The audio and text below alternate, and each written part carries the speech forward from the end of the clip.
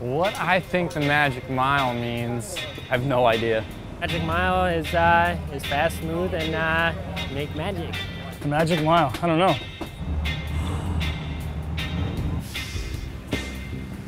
Uh, I don't know why they call it the Magic Mile. I have no idea. Probably in the old days in the fairgrounds here, the parties afterwards, probably a lot of magic was made, I'm sure. I sure hope it's magical for me. Um, I think it's just because we're in the middle of nowhere and all of a sudden just boom, there's the track. It was like magic. I call it the Magic Mile because it'd just be freaking awesome.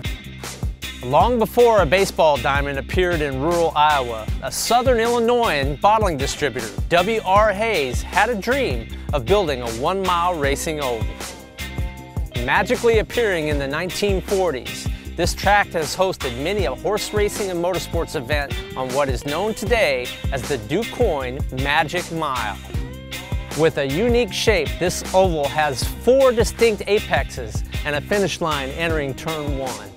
Historically known to have multiple rider battles, winning that battle may require the leader on the last lap to pull a disappearing act or have a few tricks up his sleeve.